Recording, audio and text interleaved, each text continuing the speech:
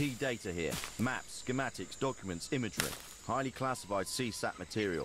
It all points to some kind of doctrine. But it seems we have bigger problems. The Eastwind device was here, now it's not.